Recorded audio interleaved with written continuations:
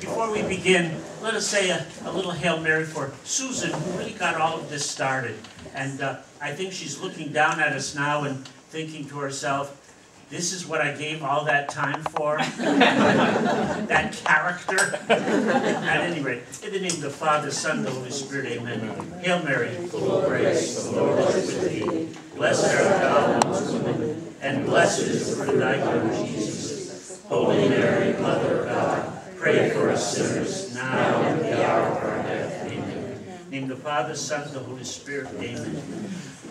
Now, um, everybody should have received one of these little prayer cards, but if you didn't, I have more over here, and um, our friend Mark will pass, and give them to you if you raise your hand.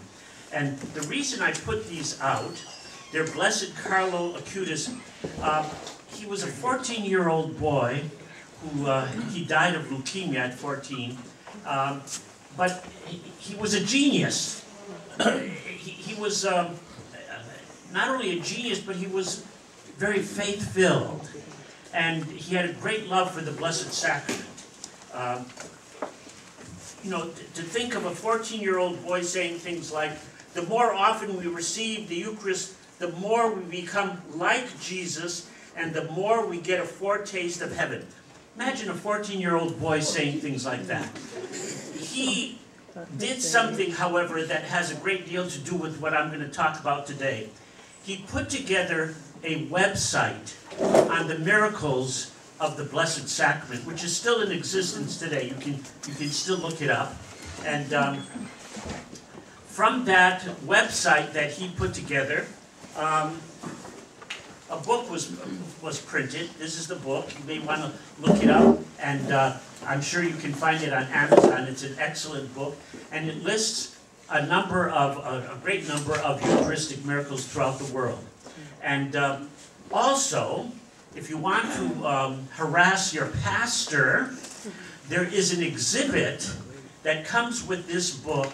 They will come and set it up in your hall here of Eucharistic miracles. They already did it here. You've had it here? Yeah, we had it. Good for you. So you see, you've had uh, Blessed Carlos already in your midst.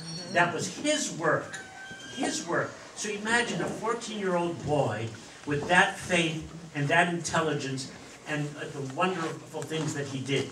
If you, uh, he's buried in Assisi, uh, Italy, and uh, his body is incorrupt.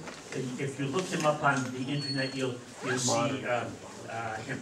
One of the things that he said always impresses me. He said, our aim is to be the infinite and not the finite. The infinite is our homeland. We have always been expected in heaven. Wow, what a wonderful thought that is. We've always been expected in heaven. They're waiting for us in heaven. Now, today we're going to talk about miracles of the Eucharist. But first of all, we have to understand something.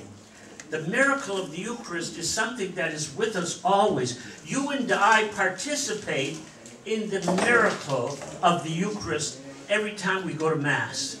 That's something that a lot of people don't realize today, sadly, but it is a fact that when we go to Mass, we are attending a miracle that has been echoed from the time of Jesus to the present in every Roman Catholic church in the world. An amazing miracle. Jesus himself said in the Gospel of St. John chapter 6 that I will give you my flesh as food. My flesh is real food, he says. My blood is real drink. It is true food and true drink. When the Jews heard this, even the apostles, they were shocked. And of course they were shocked because it was a, a shocking thing it sounded like cannibalism. What is he talking about? And Jesus himself even said, Does this shock you? and everybody said, Yes, it does. and so he said, uh, Are you going to leave me too? And St. Peter fortunately, had the presence of mind to say, No, Lord, because you have the words of life. And so he stayed, and the apostles stayed.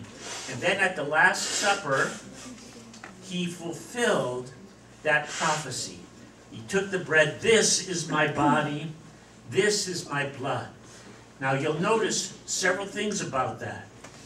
Jesus is taking real food, visible food, and visible drink, and he is saying, This is my body. He's not making it, this is as if it were my body. He's not saying, this is a symbol of my body. He's saying, this is my body. The apostles took him at his word. The early church took him at his word. The Roman Catholic Church always took him at his word. This is an amazing fact that from the time of Jesus and the apostles to the present day, only the Roman Catholic Church has stood with Jesus, has accepted Jesus 100%. I always get a charge when some of these evangelical Christians or these so called Bible believing Christians say that they are following Jesus. Well, they're not. Because Jesus said, I am going to give you my body and my blood as real food and real drink. And they don't accept that. They don't believe that. I have a little form that um, somebody's going to pass out at the end of my talk about the Jehovah Witnesses. Why, uh, why am I doing that? Because every time they came to see me, I would try to give them information about the Eucharist. And it came to the point where they refused to come anymore. and I gave information to that effect to a lot of my parishioners. And finally, it turned out that the headquarters had told the people who go door to door not to take anything from those Catholics anymore. and if they start to talk about what we're talking about today, they were to leave immediately. They weren't to listen. Because they are denying the Bible. And I'm afraid that most Protestants deny the Bible when it comes to this fact. I am going to give you my body and blood as food and drink. My real body, my real food, my real drink, true drink, true food. I can't say that enough because that's what Jesus said. And that's something that today even we ignore. That's something that even today Catholics don't quite get. This miracle of bread becoming a supernatural, miraculous food that gives eternal life is an amazing fact. And it is something that you and I have available to us very easily. We have a problem, though. We don't take it seriously, and we don't teach it seriously, and we don't accept it seriously. Think for a moment what is happening here. When we come to Mass, Jesus Christ Himself is physically, miraculously, supernaturally, in reality, present. Jesus is there. He is with us. He is there. God Almighty is in the church above us. We have to think about that more often. And when we come to communion, when we receive communion, we have to do it in a way that stresses the fact that we believe that we are being united with God that we are becoming one with God, that we are becoming His total creation with Him. That's an amazing fact of the Catholic Church. And if we don't appreciate that, we're missing everything. We have nothing. The fact that Jesus Christ is in this church above us in the tabernacle, and the fact that He is going to come into our hearts, that He is going to be one with us, that He is going to accompany us always, physically as well as spiritually, miraculously and supernaturally. Wow. We have to teach that lesson, that miracle of the Eucharist. We have to teach that lesson more fervently, more excitedly, more thoroughly. Well, how are you going to do that? That's the, the job of the priest from the pulpit. No, it's our job too. Every one of us has to preach what we believe. How do we do that? Let me tell you something. Oftentimes, actions speak far more uh, aggressively than words.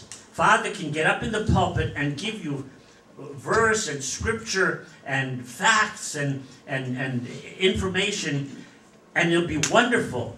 And we may be um, uh, informed and impressed with all of that. Good.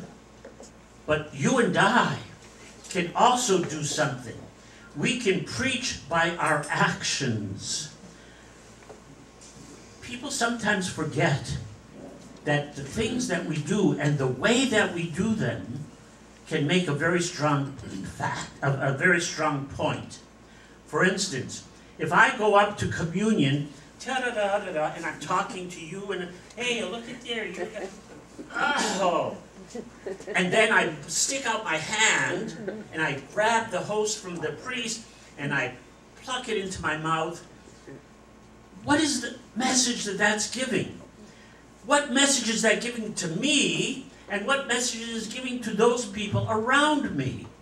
It is saying that I am doing something ordinary. It is saying that I'm doing something that doesn't matter. It is saying that this act of receiving is minor compared to my high-fiving everybody along the way uh, to the altar. On the other hand, if I come up to the altar and if there's an altar rail, if I kneel there devoutly and I recollect myself thinking, Jesus is coming to me. Jesus is going to be with me any moment now. And then the priest comes, and rather than grasping at the host, I allow the host to come to me on my tongue. What have I said? I have said to myself, I am receiving God. God is coming to me. And I'm saying this to everybody who's watching me. They're seeing, wow, that young man, that young lady, that old lady, that old man, they really believe. There is something special there. There is something unique there. I have a huge problem with people who walk up to the altar and reach out their hand for Holy Communion. That was never approved by the church. The only reason we have it in the United States today is because one of the cardinals, whose name I won't mention, lied to the Pope and told Pope Paul VI that the people of America are doing this and they want to do it. That wasn't true. And Pope Paul, to keep the peace, said, I will give you a permission, but the real proper way is to receive communion in the traditional way, kneeling and on the tongue. Unfortunately, the devil had his way, and many people receive by reaching out and grasping as if they were in a line at McDonald's. Not even that kind, not even that respectful. So, my suggestion to you all is if you receive on the hand, stop it. Stop it right now. Receive in the proper way. Hi, Father. Um, I, I do have to bring this up, because I, w- we were taught by Monsignor Dan, uh, who just died, as you know, that, uh, as, as part of a teaching of Vatican II, that if you hold out your hand like the cradle of Christ respectfully, and the priest places it on it, and then you take it and bring it to your mouth, it's, it's a symbolic of the priest giving it to you, but then you using your fiat and saying, I accept you, Lord, come into my mouth. And it's, it's, it's like an action of prayer. And so I do not think that it is, I, I do think it was God who helped teach that lesson. First of all, that was not taught by Vatican II. Well, it was taught to me by Monsignor Dan, and it was part of an accepted way that Vatican II allowed people to do it. No, Vatican II had nothing to do with it. Uh, It's interesting that many people will point to all of the things uh, that we are doing today and saying, well, Vatican II taught that. No, it did not come from Vatican II. It came from a cardinal in the United States requesting this permission because he claimed that it was already being done and it is what the American people Okay, wanted but the cardinal was an apostle. Pardon? A cardinal was an apostle, and, and he basically said that to us. And, and God said, those, um, whatever you say in my name will be granted, and whoever you say bound in my name will be bound. And he, the cardinal was the apostle, as the same level as the pope, basically for our, our America. The cardinal is an apostle only if he tells the truth. I, I, I'm sorry, Father, I'm gonna have to disagree with you on that. I'm sorry. It's a free country. Yeah, but I, I believe that when I accept it in my hand, it's a prayer. And I'm, I'm, I'm doing it two ways, I'm accepting Jesus myself, saying, my fiat, I accept your will, Lord, I accept you in my mouth, in my, in my heart, in my soul. That's lovely. And I hope But I, that but you can, I, I, that you really, it's, I think, I, I, I really, am- I'm sorry, Father. I don't think you're telling the truth at this point. Because, because, uh, because the cardinal was an apostle. The father, the cardinal was an apostle. Father Charles, could I say something? Yes. Yes. yes. I just going to say something. This is unbelievable. Thank you. Well, just a little bit more background. I know that people, of course, can receive Holy Communion in the hand very reverently. But the fact of the matter is that the custom of communion in the hand began in Holland, and it was a grave abuse. Finally, it came to the attention of Paul VI, but the Dutch church to this day is extremely liberal. In the 70s, the Dutch church had the famous Dutch catechism, which was total apostasy, and the faith was lost there. So Paul VI had petitioned all the bishops in the world, asking them whether or not it was their thinking that it would be a good notion to introduce the custom of communion in the hand. And overwhelmingly, it seems to me that 90% of the bishops had said no. So Paul VI, to accommodate this touchy situation, allowed an indult, saying that in those countries where the custom was already in place, permission would be granted. So this is a tactic of the liberals many times. I'm not saying Paul VI was liberal, but the agitators. They get something in place, and then they get the church to approve what they've been doing disobediently. So, Paul VI said, in those countries where this custom has been illicitly introduced, permission can be granted by the bishops making this request. So in the United States, Father was too delicate to mention the name. Cardinal Bernardin was a famous cardinal who was alleged to be a Satanist, who was an avowed homosexual, who requested that the Chicago gay chorus be at his funeral, agitated in the United States to get communion in the hand approved by the bishops. This took place in 1977. And Cardinal Bernardin was very dishonest in the manner by which he achieved this objective. And he repeatedly returned with the, the, uh, the question, bringing it up over and over again. He used dishonest tactics, and finally the bishop succumbed, and in 1977 the custom was introduced. We see that in many, many, many places we've heard multiple reports of abuses of the Blessed Sacrament by hosts being left in the um, benches of the parishes, people coming in not knowing what to do with the host. They come up uh, with a friend perhaps and they haven't been properly informed or instructed. So there's no doubt that being able to receive communion in the hand has resulted in many, many, many abuses because the sacrament is more readily available for profanation. Now, I am not saying, as Father Charles would not intend also, that people who receive in the hand have these objectives in mind. No, that's not what is being said. But rather that it is easier to obtain a host in this method because the rule requires that the person is supposed to put one hand on the other, uh, step aside, and then immediately consume the Blessed Sacrament. But you've all seen many times people taking the host, they walk back to their seat.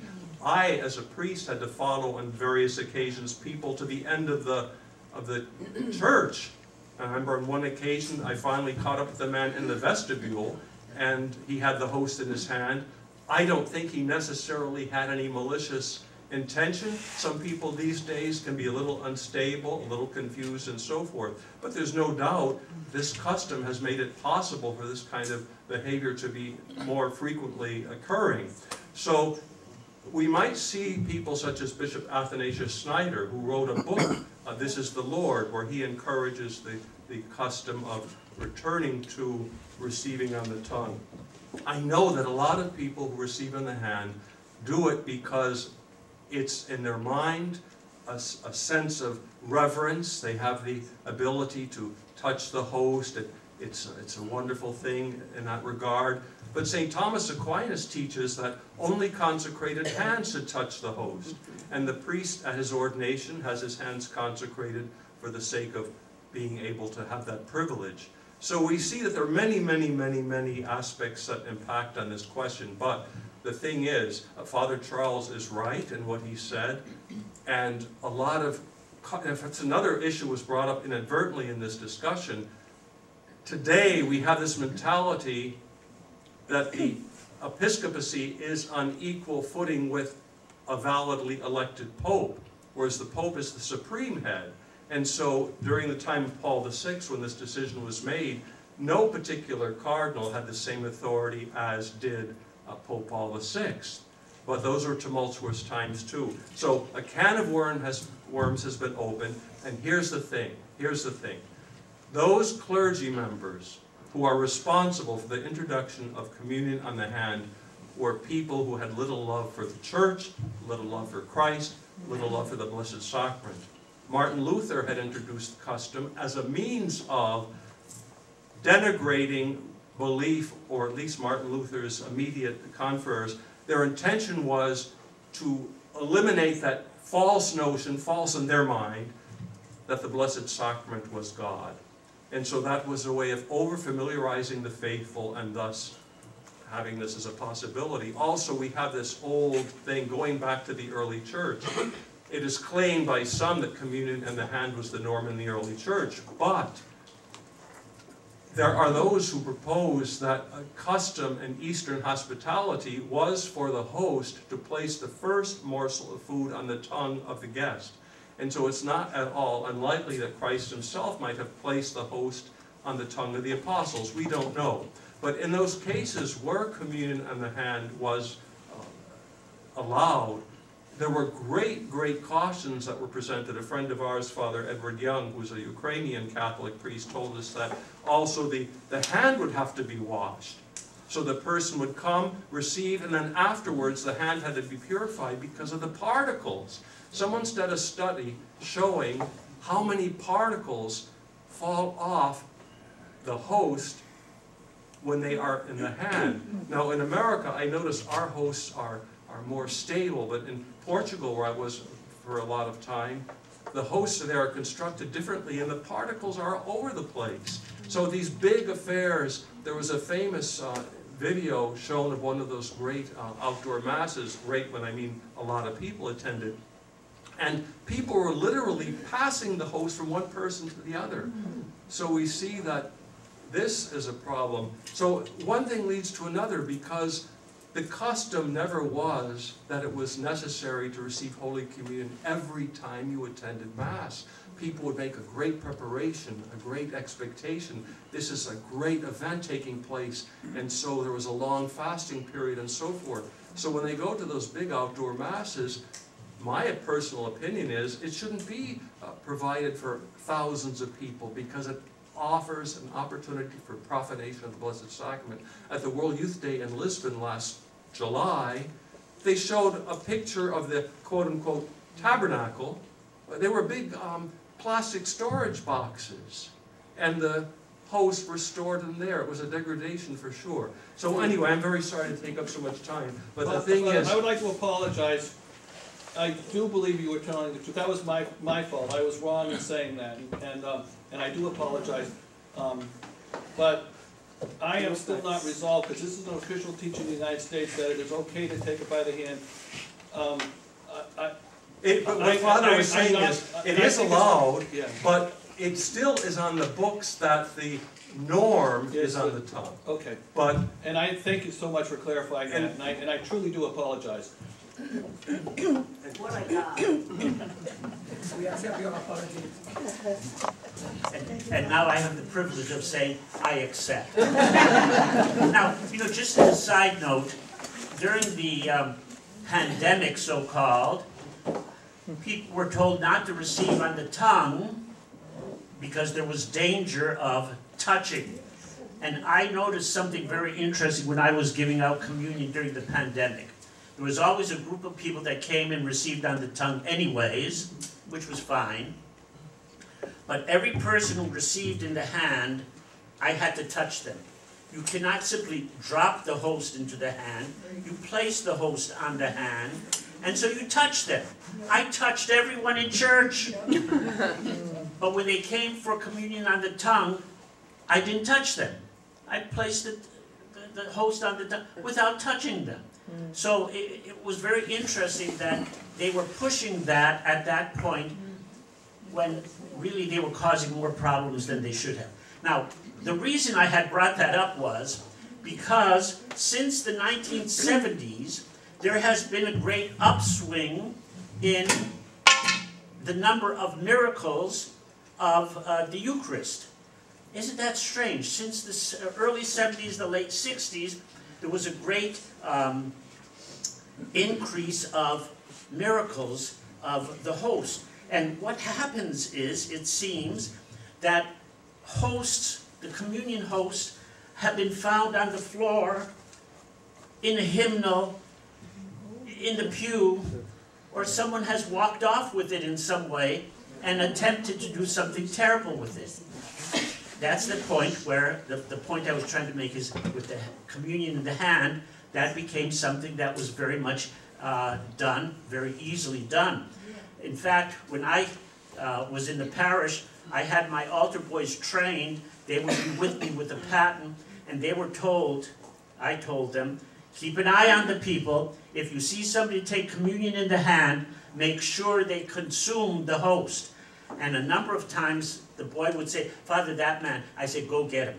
go get him. And they would follow the man and stop him and st- stand there until the man consumed the host. It, it really has become a, a, a serious problem. But as I started to say, uh, because of all of these hosts that have been found, even at my seminary, by the way, they would find hosts on occasion in the hymnals on Sundays when the lay people, the neighborhood people would come in to the to our chapel and they would attend mass. I think they were there only because of the singing uh, and the, the music. We were it was we had a wonderful choir, and the next day we would find hosts in the hymnals. People didn't know what to do, you know. So it is a danger. Well, as I started to say, because of that, there have been a number of great miracles um, of uh, hosts being found, and uh, they uh, something very strange happens. If I find a host on the floor, I am to take that host and put it in what is called an ablution cup. An ablution cup is a little cup of water that is kept by the tabernacle. And the purpose is to put it in there so that it will uh, disintegrate and then it can be disposed of without causing sacrilege or dishonor to God. All right? And so this is something that is done simply because it would be unsanitary to do anything else. Um, and so oftentimes it is simply placed in that cup. The cup is placed in the tabernacle, and when the host disintegrates, then the water can be uh, disposed of properly. However, it seems that since the 1970s, the early, late 60s, the 1970s, there have been more instances of miracles with those hosts. And um, in most cases, in, in the, um, um, there's a case in, in, in uh, Tixtla, Mexico, a case in Sokolka, Poland, and a case in uh, Buenos Aires, Argentina, and uh, several, uh, I won't even go through the list of names, but there's so many of them right here in the United States, where the host has been placed in the um, ablution cup, and in a few days they come back and find that it's blood and flesh. And they oftentimes will take these samples to a doctor who has no idea what they have, and he will examine it, and they will find something similar in each case. Here's what they have found. In each case where they have seen the host turn to blood and flesh, that's exactly what it is. The host has somehow miraculously turned into flesh and blood. The flesh, strangely enough, is always a heart muscle. A heart muscle. And the blood is always fresh. And the blood is always a particular type, AB, which is a fairly rare form of uh, a blood type. And interestingly enough, all of these miracles have the same blood type.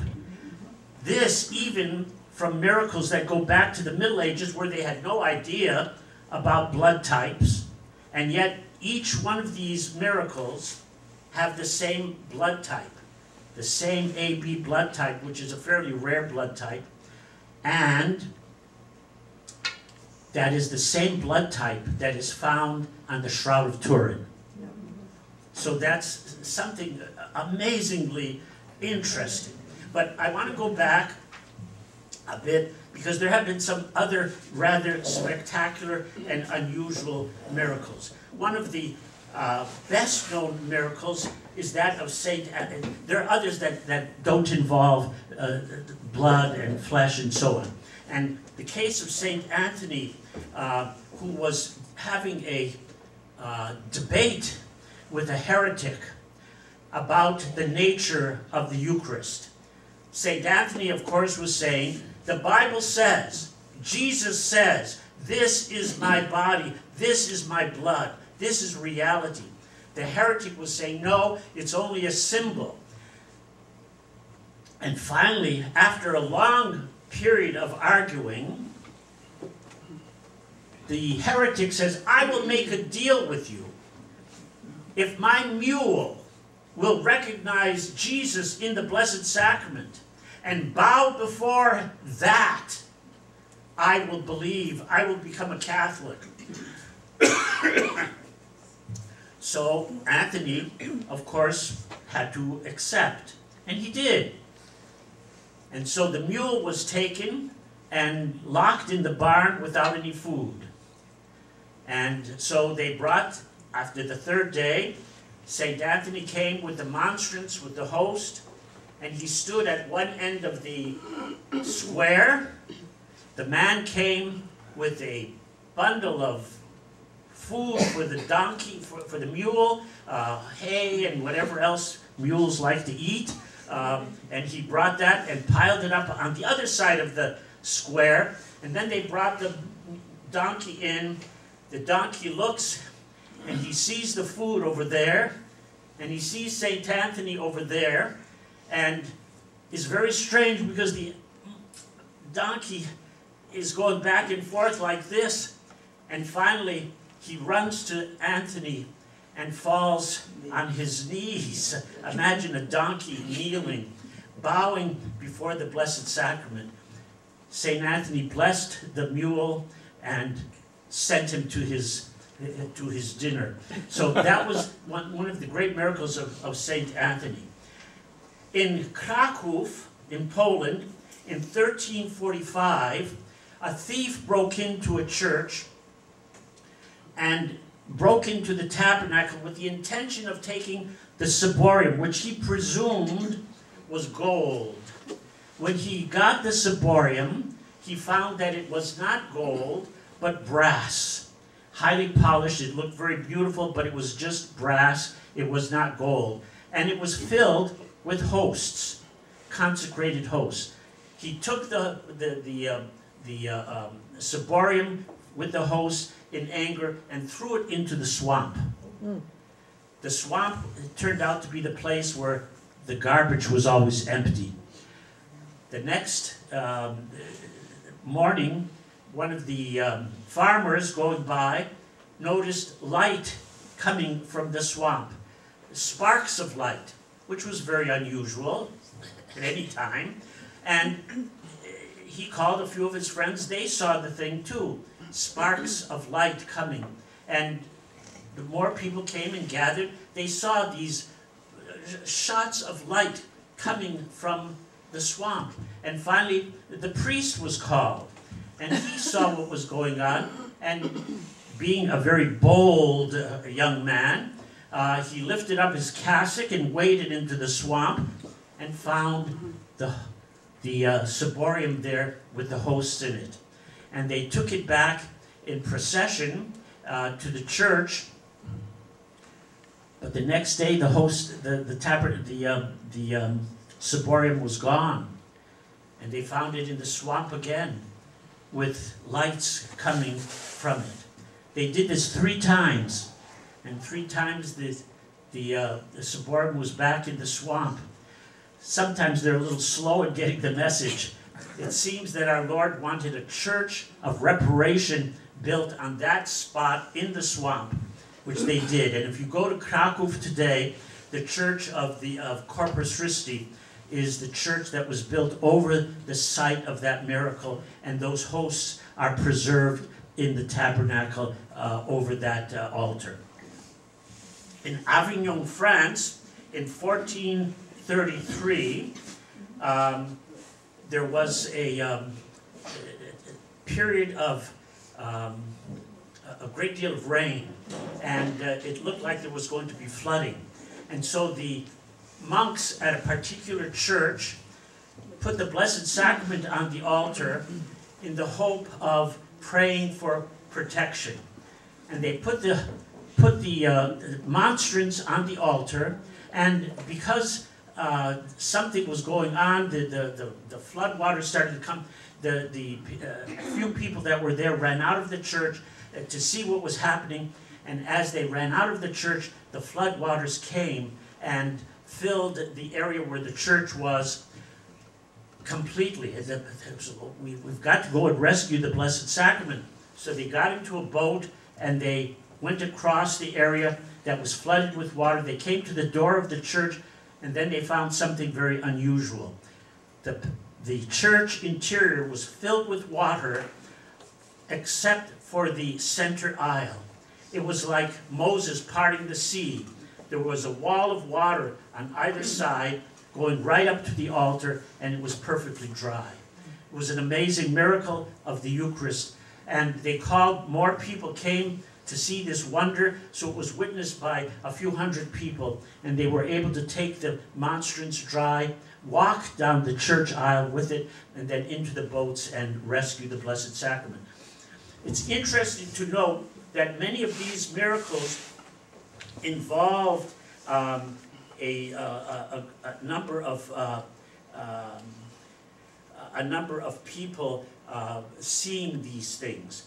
Uh, it wasn't something that was, was um, just um, one person that saw it. wasn't a, a singular miracle. It was a miracle that involved many people witnessing it. One of the great miracles is the miracle of uh, Lanciano. That took place in 750 AD. 750 AD. And here's what happened. The priest was saying Mass, and he was going through a bad period. his faith was weak. And as he was saying the Mass, he, he consecrated the Blessed Sacrament. This is my body, this is my blood. And then he stopped. And he said, Is this true? Is this a fact? Can this be? And he doubted very seriously. And he just stood there, dumbfounded by his negative thoughts about the Blessed Sacrament. and then suddenly, something very strange happened. The host, the large priest's host, turned into flesh, and the wine in the um, chalice turned into actual blood. And of course, he was terrified at what had happened. The bishop came, uh, people saw this host of flesh, they saw the chalice filled with blood. Now, here's what's very interesting about all of that that host and that blood was preserved in a reliquary. If you go to the um, uh, Lanciano today, you will see a very interesting reliquary. There is a crystal chalice with the dried lumps of blood and a monstrance with the host in it.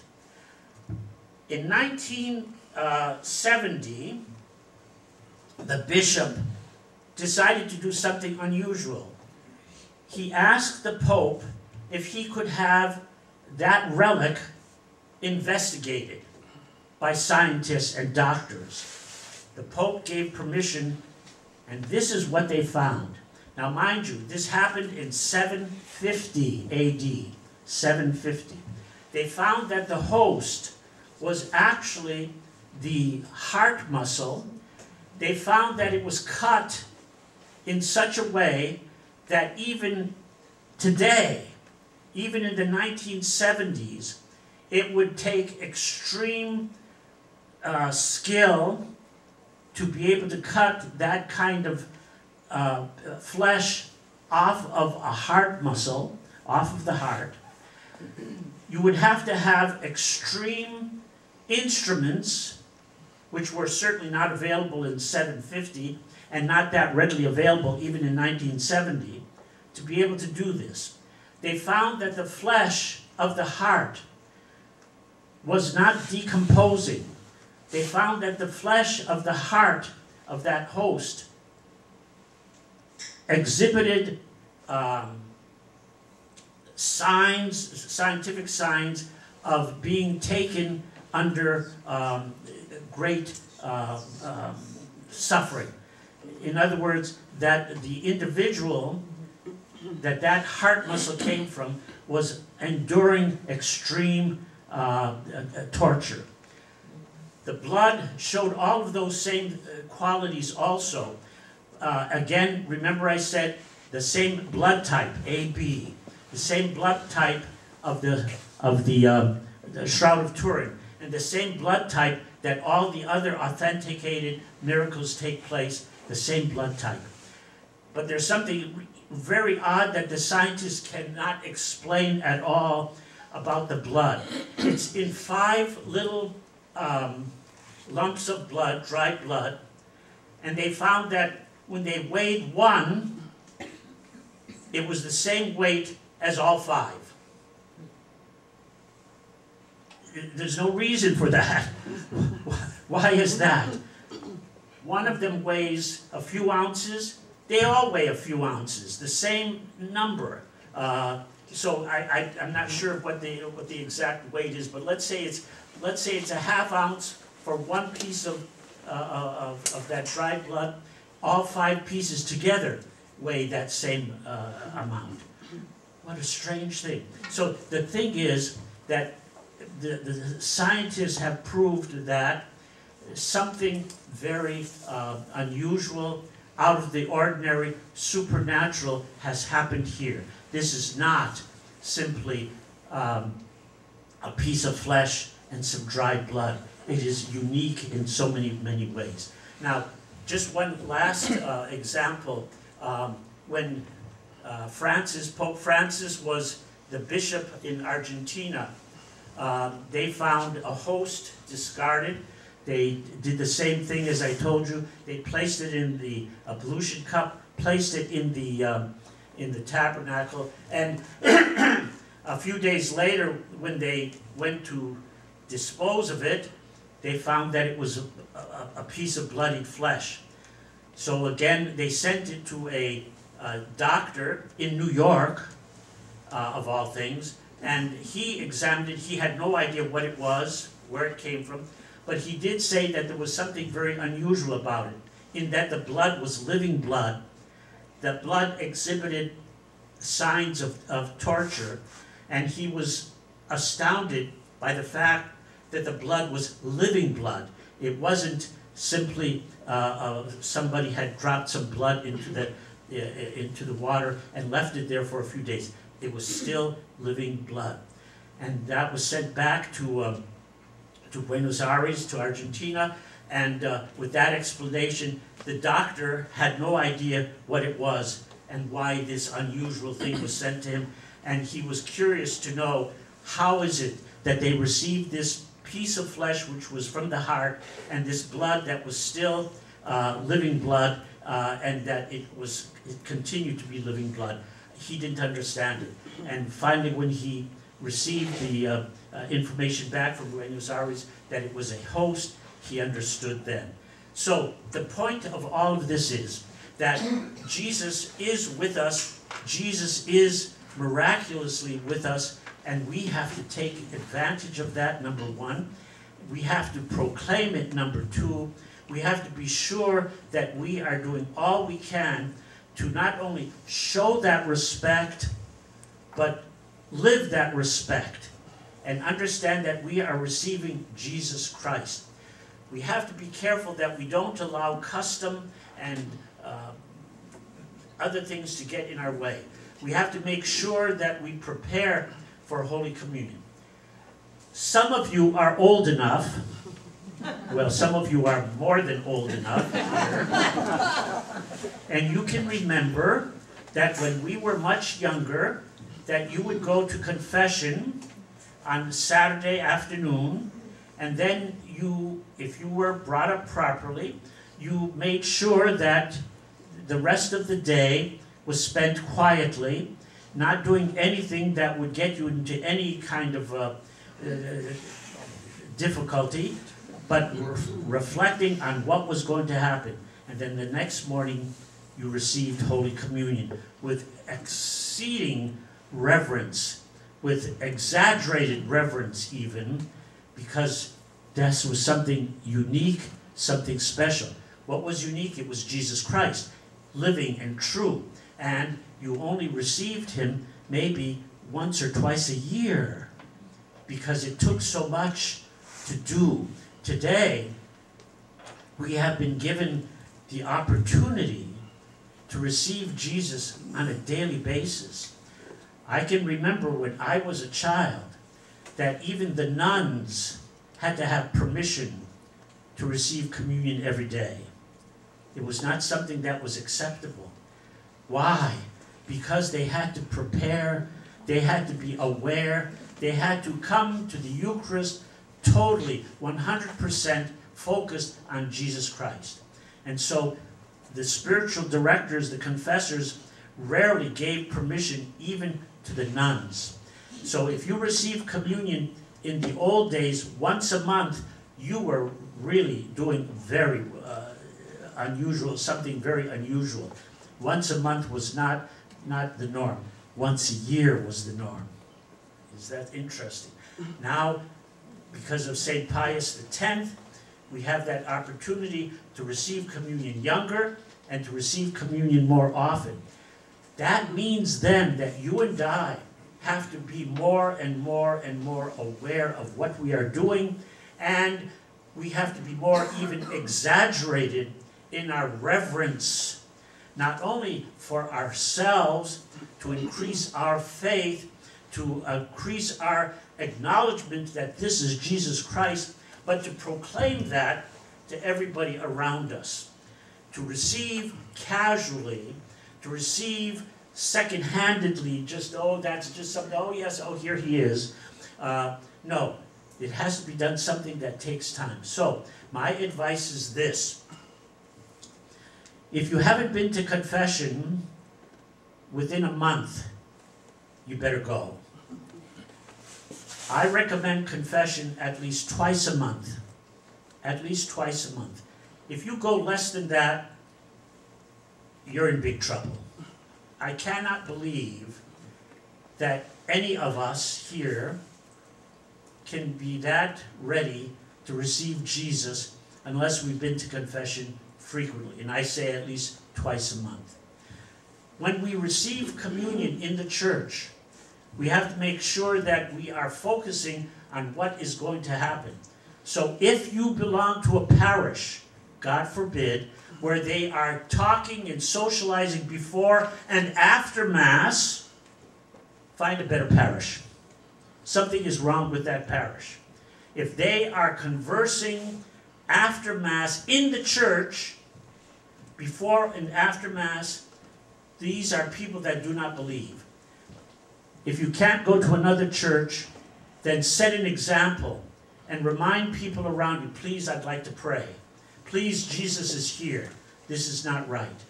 We have to make that exaggerated reverence to teach other people what is going on here. And when people behave that way in church, obviously they do not have total faith. They have a very light faith and they're going to fall away. So, if we're going to go to communion, we go to confession at least twice a month. We prepare ourselves, and certainly in the church before Mass, praying and making ourselves ready. And then as we walk down the aisle, even, focusing on the fact I am about to see and receive and be with Jesus Christ Himself. And then, uh, if you are fortunate enough to have an altar rail, to kneel there, you have a time to prepare as the priest comes to you. Or if you're in line, you have to make sure that you are focusing on that fact of Jesus Christ coming to you, to being with Jesus Christ 100%. And then when you go back to your place, to make sure that you take advantage of the fact that you are now having a personal and private audience with God Almighty. Just think of that. If I wanted to have an audience with the Pope, or if I wanted to have an audience with the President of the United States, I'd have to, number one, get nicely dressed up. Number two, fat chance. It's not going to happen. I, they're not going to want to see me. Who am I? I'm not going to get into the Vatican. I'm not going to get into the White House.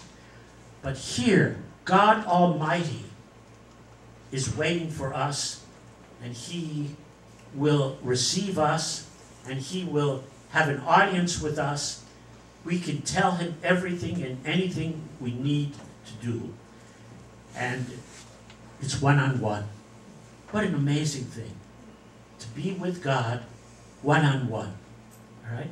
Now, all of this business about receiving in the hand or on the tongue or the like, the point is we have to do everything we can to make sure that we are proclaiming the fact that this is not ordinary time, this is not ordinary food, this is not an ordinary event.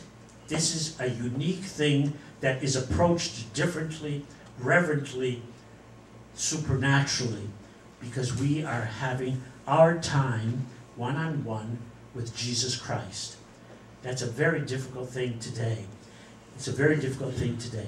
I have seen, unfortunately, even the clergy treat the Blessed Sacrament very cavalierly, very casually.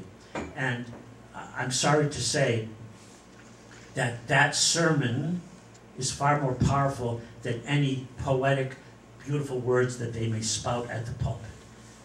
Our actions speak very loudly. So, keep in mind, all of these wonderful miracles of the Eucharist, which have been authenticated, all of these wonderful miracles of the Eucharist, which are spectacular. If you get this book, you're going to find just uh, well, a few hundred miracles, but there are thousands more of, the- of the Eucharist. Uh, you're, you're going to find that, uh, you know, th- th- these are wonderful, wonderful things. But we have to understand, Jesus is performing a miracle for me. He's on the altar for me. He's on the altar for you. And he comes to me, he comes to you personally. That is the great miracle. And that is what we have to pay attention to. And that is what we have to proclaim by our actions, by our words, by everything that we see and do. Jesus Christ is there. And in the Father, Son, the Holy Spirit. Amen. Yes. Yes, Father, um, I think, I, of that miracle from Buenos Aires. Yes.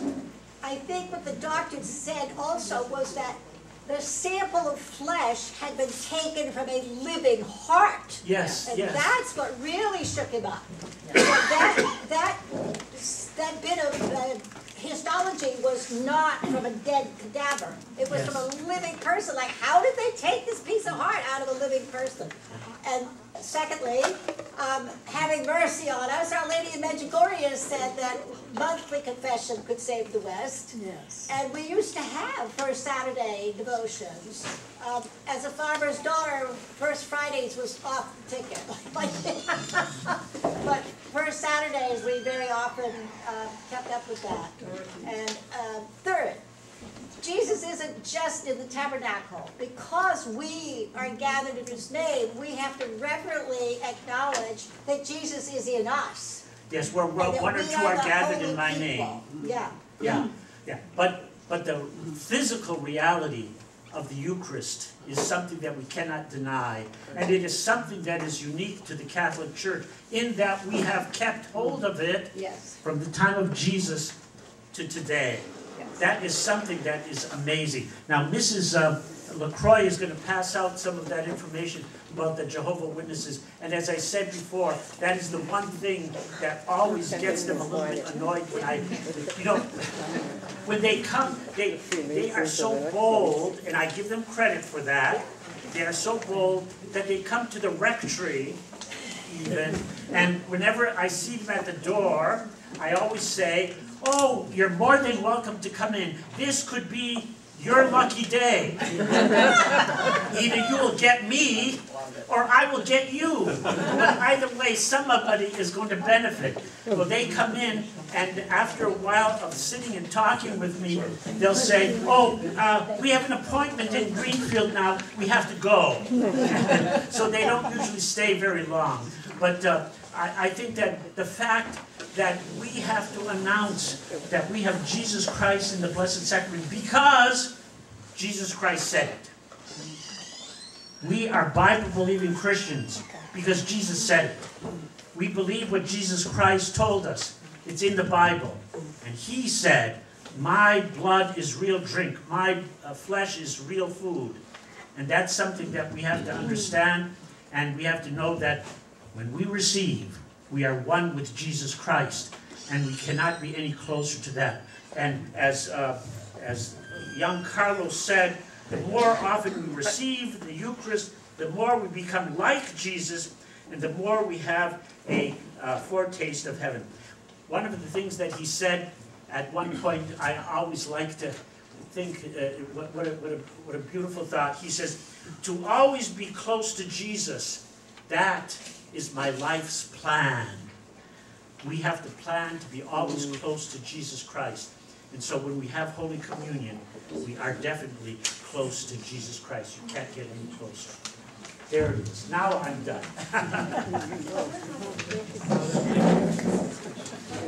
Father, we want to thank you so much.